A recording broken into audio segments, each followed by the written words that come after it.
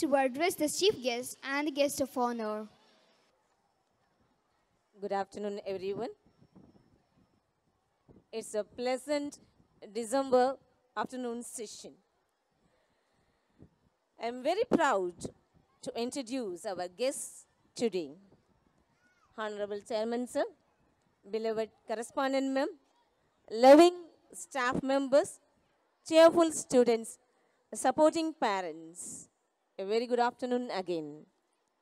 You all know that in Sri Krish, values and achievements are highly, always appreciated and respected. Our motto itself says this again and again. As we are celebrating our sixth annual sports day, we have Mr. Murugavendan, Thiruvarur District Sports Officer, as a chief guest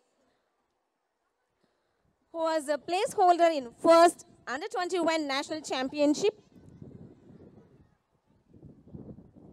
Also, as a head coach of Tamil Nadu senior category women's team, received the trophy. Ladies and gentlemen, ladies and ladies again, give him a good round of applause because as a head coach, that is the first time in Tamil Nadu history we won the trophy. Thank you, sir. Our guest of honor is yet to arrive.